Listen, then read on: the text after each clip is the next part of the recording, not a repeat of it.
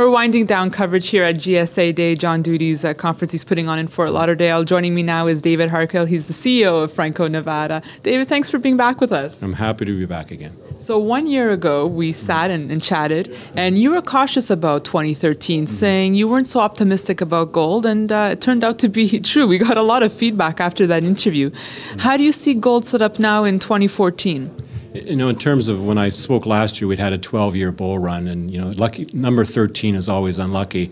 So we were a bit concerned. I think I think what's healthy now is we've had a good correction in the market, and I think all the ingredients are right now is we're consolidating through that, and I think uh, I'm constructive. I think this this year is going to be probably a trading range, but I think it's going to set the base.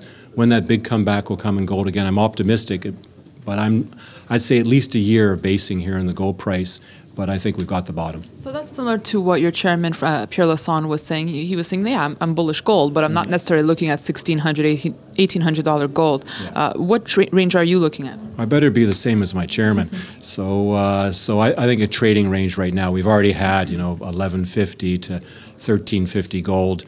I think, you know, I'd say something between 12 to 1400 is actually a nice range.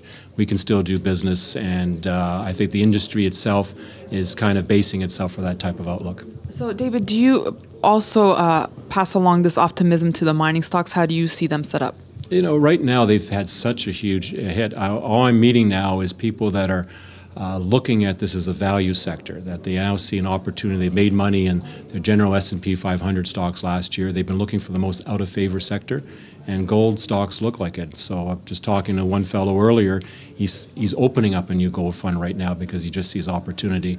I think uh, I think what we'll see is any sort of stabilizing and improvement in, in the stocks is just going to bring in uh, investors back in the sector again. But it's going to take time. So I'm looking at it as constructive over the next few years. Let's talk Franco Nevada now. Your results are coming up end of March, but what can you tell us so far? Uh, how's the company been doing?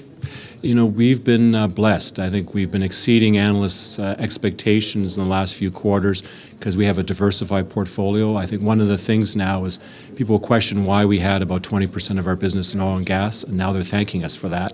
Uh, we were able to raise our dividends last year, and I've been able to tell people that our dividend is secure this year, and the only question is whether we raise it for the seventh consecutive year. Uh, so we, I think, are demonstrating we've got probably one of the most uh, robust business models in the business.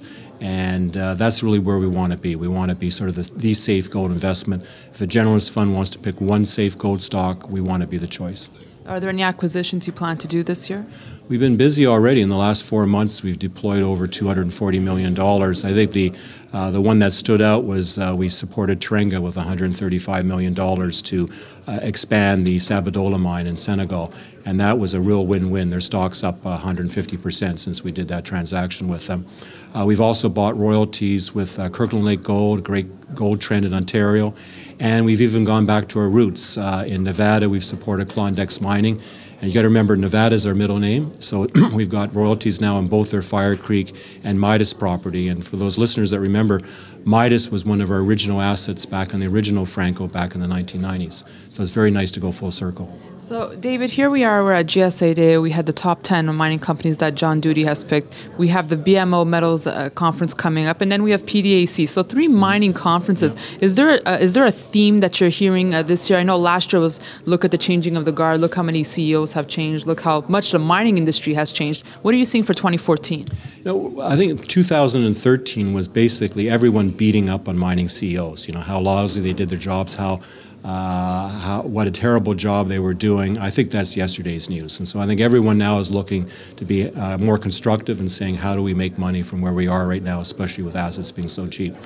And uh, it's just part of life having all these conferences. I have to speak at the PDAC next weekend, and I, you have to help me with my speech. I don't know what I'm going to say yet. Well, right. we'll see you there, David. Thanks so much for being with us today. Thank you. Appreciate it. And thanks for watching our continuous coverage from GSA Day here in Fort Lauderdale. We'll have more coverage for you on Kitco.com. In the meantime, you could follow this conversation on Twitter at Daniela Cambone. Thanks for watching.